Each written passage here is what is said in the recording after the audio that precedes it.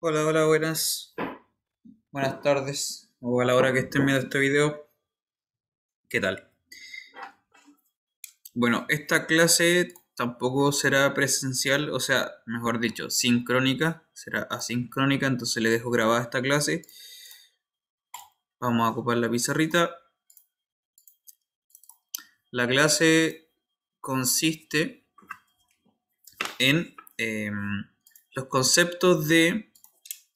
Vamos a seguir un poco con lo, con lo de economía, que la clase anterior estábamos viendo oferta y demanda. Ya, la oferta y la demanda la vamos a dejar ahí. Y lo que vamos a hablar un poco ahora son las funciones costo, ingreso y utilidades.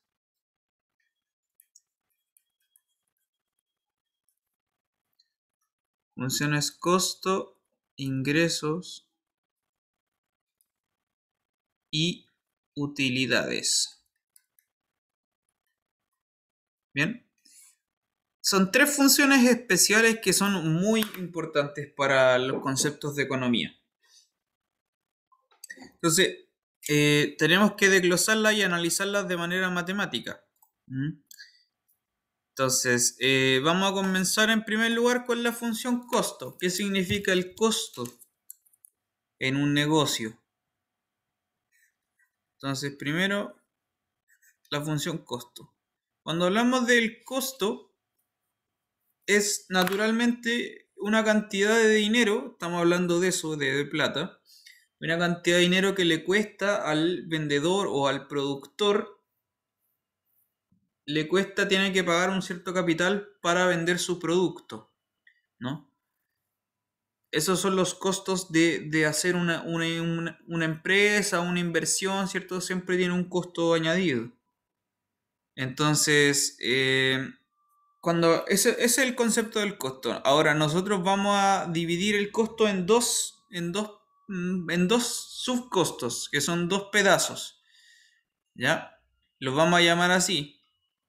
El primero va a ser el costo fijo y el segundo va a ser el costo variable.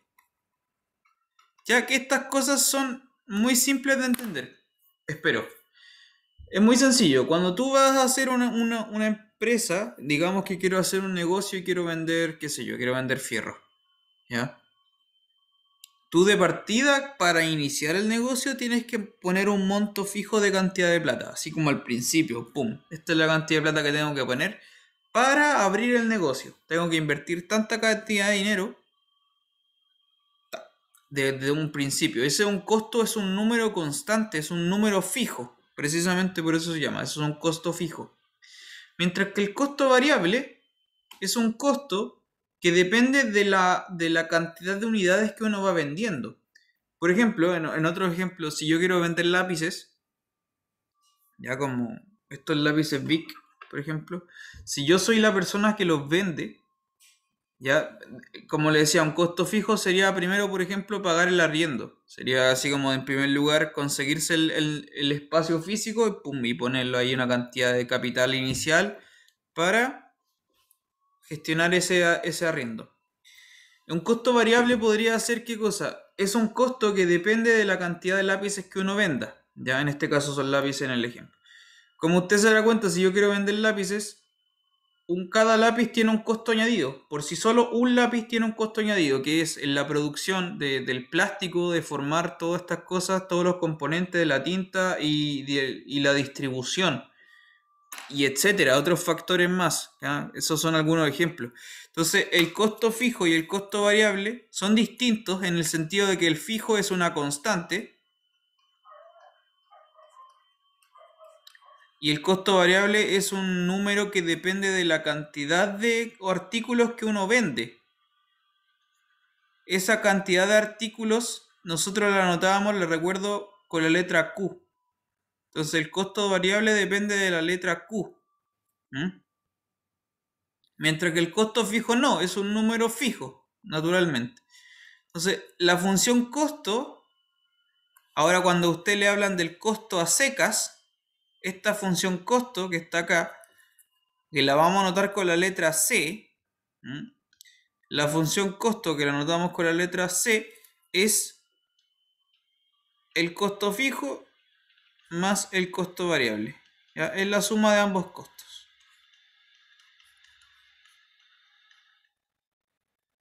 Ese es el costo como total, por así llamarlo. Costo C. Ya lo que uno paga al principio más lo que va pagando por artículo. Ya, ese es el costo. Entonces, por ejemplo, bueno, vamos a ver ejemplos en todo caso de, de, todas estas cositas que están apareciendo aquí, para que se vayan entendiendo estos conceptos. Eso es el costo. Después le vamos a aplicar todos estos conceptos enseguida. Eh, ahora entonces le voy a comentar un poco de qué significa el ingreso. Segundo concepto importante es lo que estamos viendo en la clase de hoy. El ingreso. La función ingreso. 2. La función ingreso, que lo vamos a denotar con la letra I, I mayúscula, I de ingreso. El ingreso, como usted puede imaginar, es toda la cantidad de dinero que entra hacia el vendedor, ¿no? Es todo lo que uno lo que entra desde el eh, desde el, consumidor te pasa una cantidad, te pasa un aporte, todo eso que voy recopilando yo son mis ingresos. Eso es una función que naturalmente depende de la cantidad de artículos que uno vende. Obviamente que es así.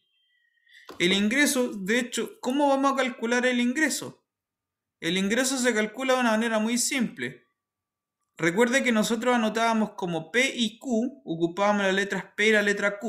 El P significaba el precio por artículo, mientras que Q es la cantidad de artículos en cuestión que se venden.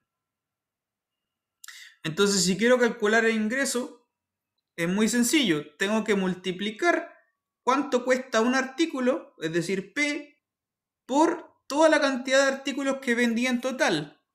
Por eso el ingreso se calcula así, como P por Q. ¿Ya? Así se calcula el ingreso. Es el precio por unidad. Este P es el precio por unidad. Y ese Q de allá es la cantidad de unidades vendidas.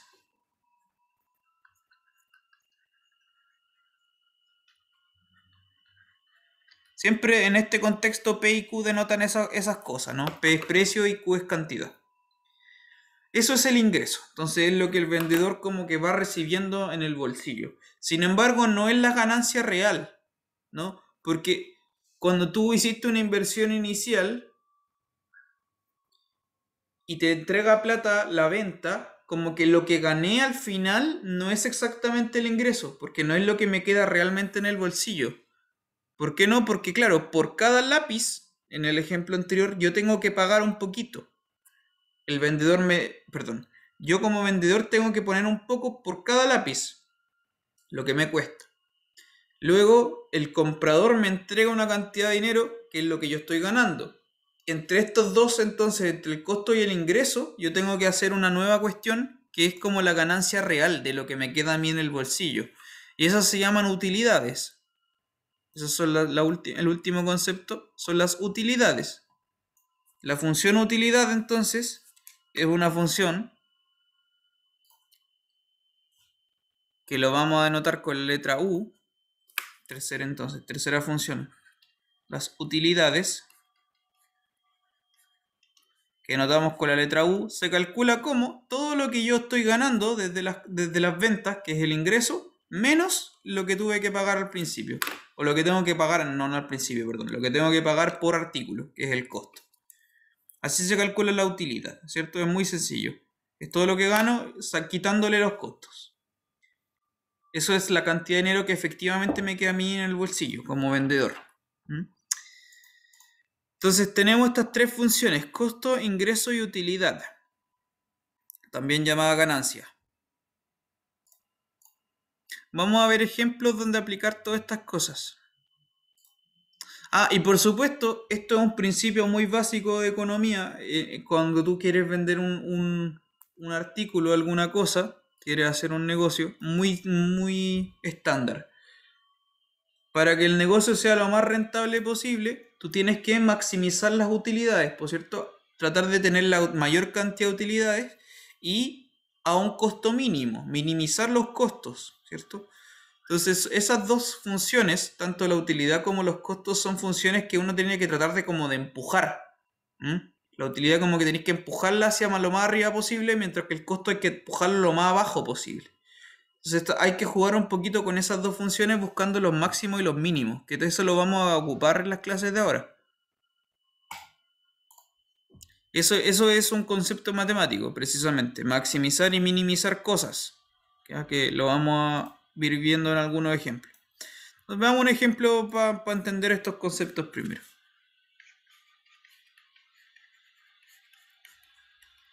Ejemplo. Eh, lo voy a anotar con, con palabras. La compañía Anderson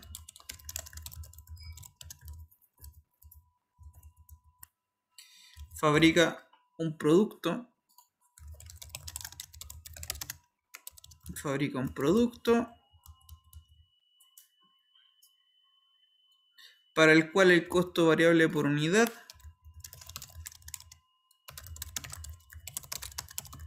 es de 6 dólares.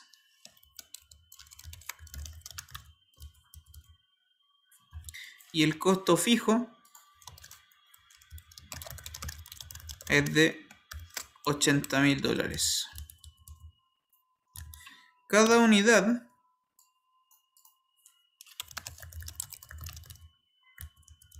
cada unidad tiene un precio de venta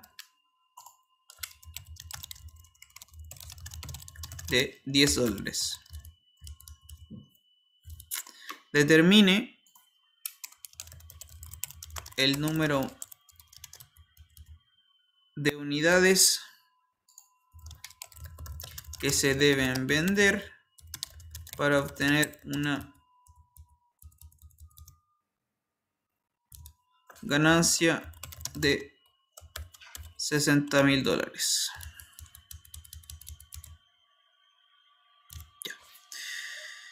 Listo, eso hay que hacer. Ese es el problema. Entonces, bueno, usted si quiere le pone pausa al video, yo lo voy a repetir. Usted tiene una compañía, o sea, en este caso hay un ejemplo, una compañía que vende un cierto producto y le dan el costo variable y le dan el costo fijo. Y además le dicen el precio de venta de cada uno de estos artículos. Y le preguntan cuántos artículos tengo que vender, eso es la cantidad de unidades de artículos que debo vender para obtener una cierta ganancia fija, no una ganancia de 60 mil dólares. Entonces, ¿cómo hacemos esto? Tenemos que identificar quiénes son las, nuestras funciones costo, ingreso y utilidades. Porque como nos están preguntando la cantidad de unidades para tener una ganancia de 60 mil dólares, esto en el fondo significa que la utilidad tiene que ser de 60 mil. Por lo tanto, tengo que identificar las utilidades. ¿Quiénes son las utilidades? La función como función, función utilidad. Estas funciones, perdón, y para obtener la utilidad necesito, como en su definición misma, significa tener claro quién es el ingreso y quién es el costo. Entonces, de antemano tenemos que conocer las tres funciones, las que le acabo de dar. Las tres, hay que tenerlas bien, bien claritas en este ejercicio. Entonces, vamos con el costo primero. El costo, las tres funciones son funciones que dependen de la variable Q, igual que el precio, de hecho. El costo, que es una función que depende de la variable Q, se calcula como, como le decía, es el costo fijo más el costo variable. El costo fijo te lo da el problema, son 80 mil dólares. Ese es un número fijo, es una constante. Al cual se le suma la cantidad de el costo variable, que es de 6 dólares, dice el problema. Eso es lo que cuesta el producto 6 dólares por unidad. Entonces, para obtener ese, el número correcto debo hacer 6 por Q, porque Q es la cantidad de unidades. Entonces, esa es la expresión que define nuestra función costo. 80.000 más 6 por Q. ¿Ya? Donde Q es la cantidad de unidades. Eso es una función que depende de Q. ¿Ok? Ahí está el costo fijo que es de 80.000, mientras el costo variable es de 6 por Q. Ya. El ingreso como le había dicho, el ingreso se calcula como el precio por la cantidad de unidades vendidas. El precio te lo da el ejercicio, dice que es de 10 dólares cada uno. La cantidad de unidades Q. Entonces el, ingreso se calcula así, como 10 veces Q. Ni más, simplemente eso, ni más ni menos. 10 veces Q. Con estos dos ya bien definidos, entonces ahora puedo obtener la función de utilidades, la función U de Q, que se calcula como el ingreso menos el costo. Por lo tanto, ¿cuánto será esto? 10Q menos 80.000, me faltó ahí un paréntesis, 80.000 más 6Q. ¿Cuánto da esto? Vamos a achicar todo para hacerlo más, tener más espacio.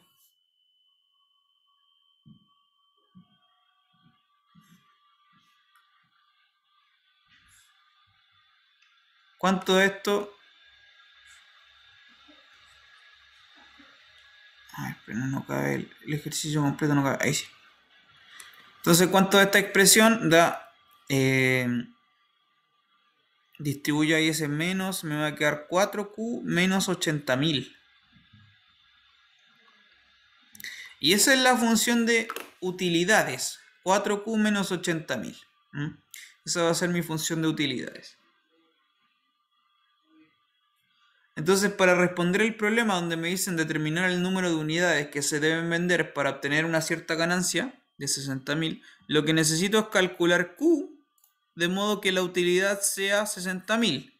Es decir, lo que tengo que resolver ahora es quién es Q, cuál es el valor de Q para el cual la utilidad U de Q es 60.000. Esa es la pregunta que tengo que resolver en el ejercicio. Y esto se responde como entonces, yo sé que U de Q es 4Q menos 80.000. Entonces eso tiene que ser igual a 60.000. Y de acá tengo que despejar la Q. Eso es lo que pide el ejercicio. La cantidad de unidades. Despejo la Q. ¿Cuánto es esto? 4Q eh, igual a 140.000. Y por lo tanto, divido todo por 4 y Q me va a quedar 140.000 dividido 4, ¿cuánto es eso? 35.000.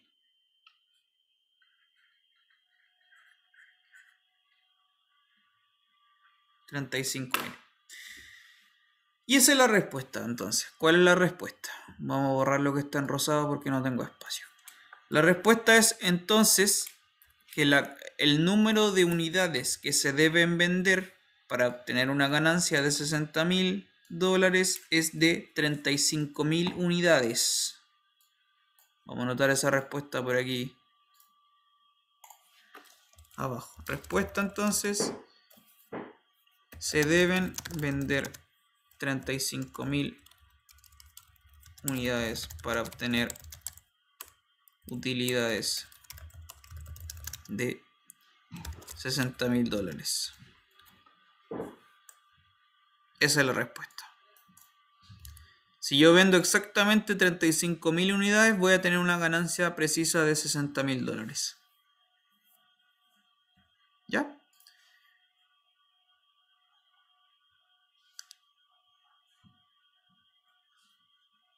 Eso.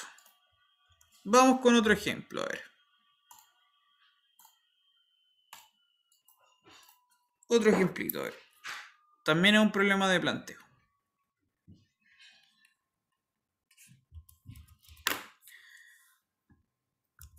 Y también lo voy a copiar así en, texto. Dice, la función demanda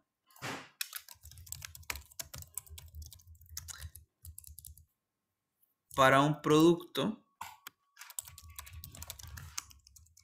es, voy a anotar la fórmula, aquí es P igual a 1000 menos 2Q.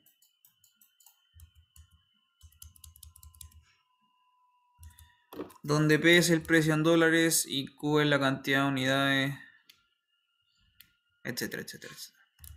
Lo mismo antes, el precio P el precio y Q es la cantidad de unidades y el precio está medido en dólares en este caso también. ¿Ya? Entonces el ejercicio dice, encuentre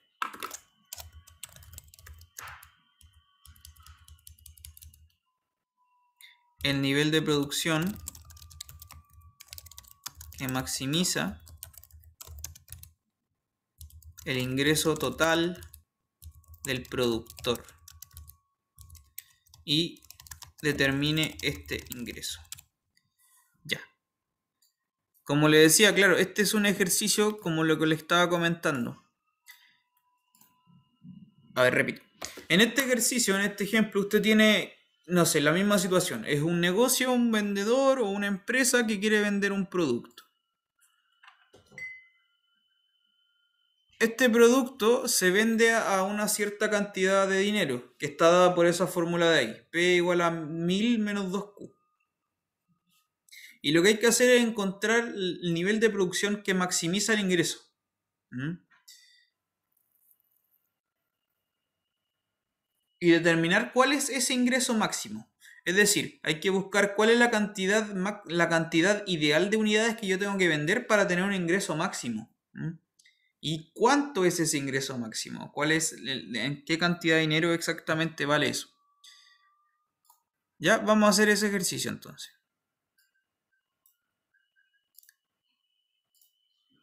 Entonces, si nos están hablando de maximizar el ingreso, primero tenemos que tener claro cuál es nuestra función ingreso, nuestra función I. I de Q se calcula, como le había dicho, es P por Q, donde P está dado por esa fórmula.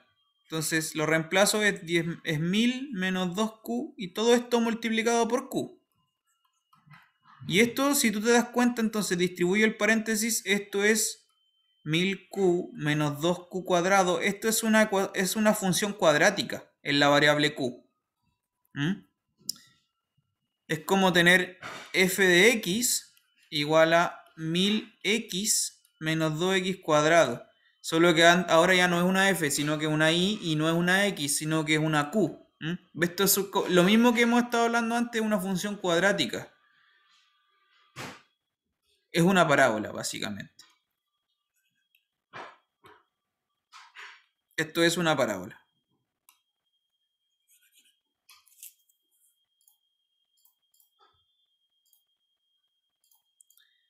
Ya.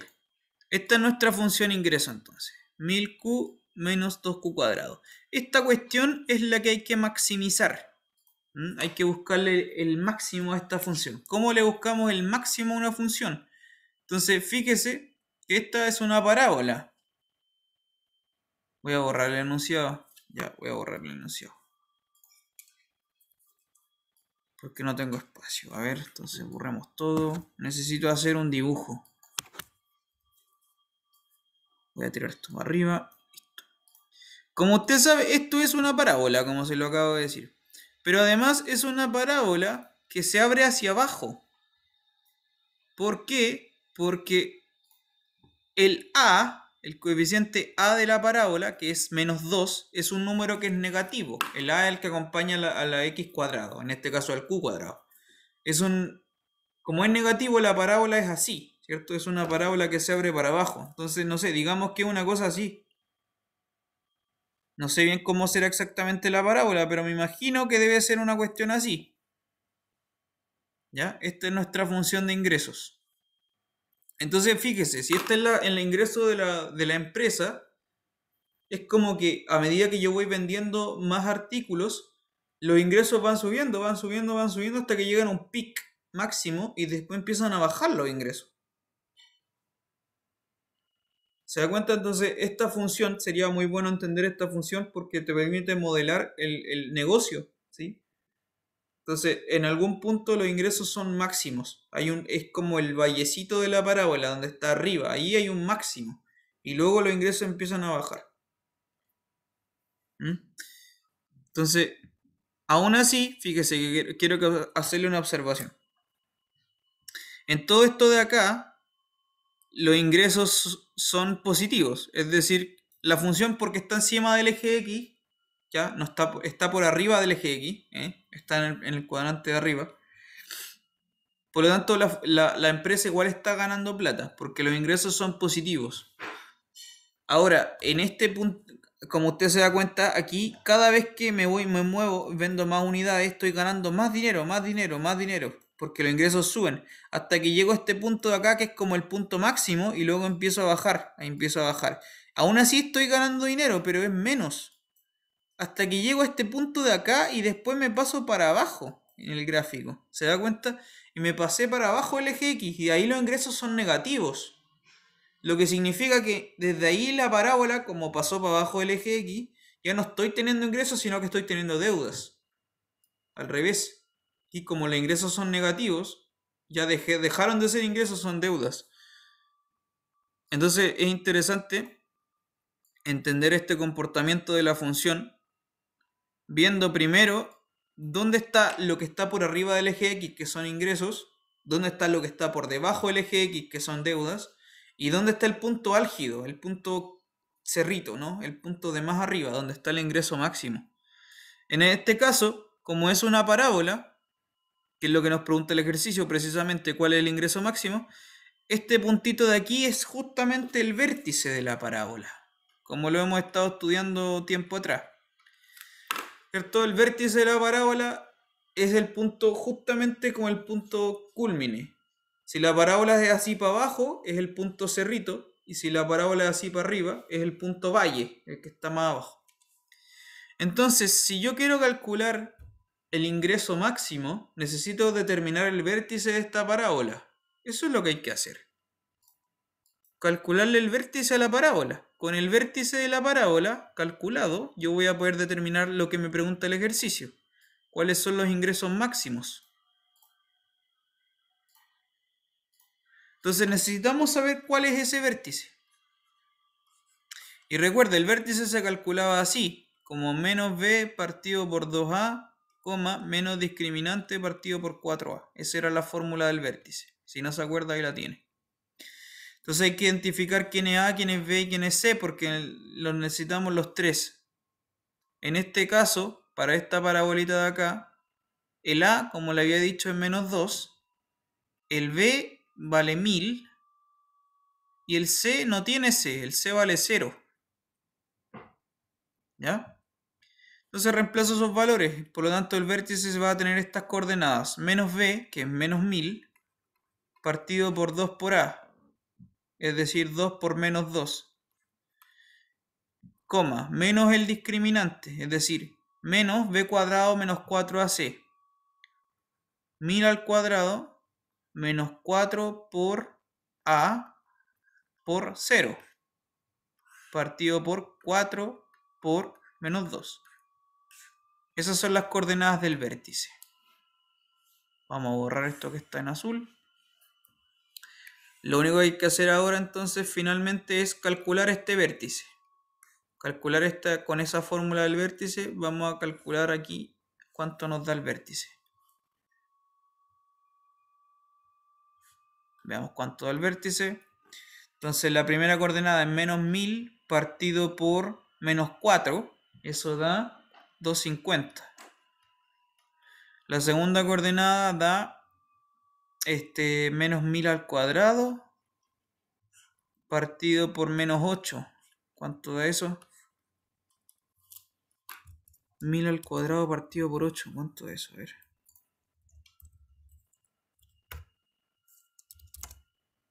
Eso es un millón partido por 8, lo cual 125 mil. Entonces el vértice es el punto de coordenadas 250,125 mil. Eso es lo que da el vértice. Revíselo en todo caso, vea si lo que acabo de hacer está correcto. Pero entonces, ahí tenemos el vértice calculado. Con el vértice ya hecho, que era ese punto culmine de la parábola. Entonces con esto podemos responder la pregunta. Entonces, para que la respuesta, esta la voy a escribir en palabras, respuesta. Para que el ingreso sea máximo, se necesitan vender exactamente 250 unidades. En tal caso, el ingreso será de 125 mil dólares. ¿Ya? 250 unidades, es la cantidad esta de aquí, ¿cierto?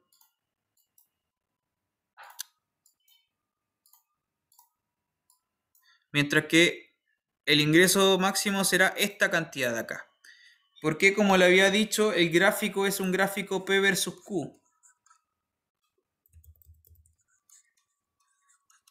Lo que significa que, claro, la segunda coordenada corresponde al precio y la primera coordenada corresponde a la cantidad. Entonces justamente esa es la respuesta, ¿bien? 250.000 unidades y su ingreso máximo va a ser de una cantidad de 125.000 dólares. Eso. Ese es, ese es un ejercicio de maximización de ingreso. Justamente, estamos maximizando el ingreso. ¿Ya? Entonces, idealmente, lo que vamos a querer hacer siempre es maximizar el ingreso, maximizar las utilidades y minimizar el costo. Siempre es lo ideal. Tener un costo mínimo con un ingreso máximo. Esas ideas de maximizar y minimizar son conceptos matemáticos. Claramente lo son, o sea, y lo vamos a seguir viendo más adelante, de hecho. Pero aquí ya tiene un ejemplo de cómo calcular el máximo de algo. Y eso era con, el vértice de una parábola, porque justamente el vértice de una parábola que al revés está en el punto tope, en el de más arriba. Eso por ahora entonces. Si necesita ejercicio me, me, pide, yo tengo un montón, o si quiere revisar los libros también hay muchos. ¿ya? Nos vemos en la próxima sesión. Adiós.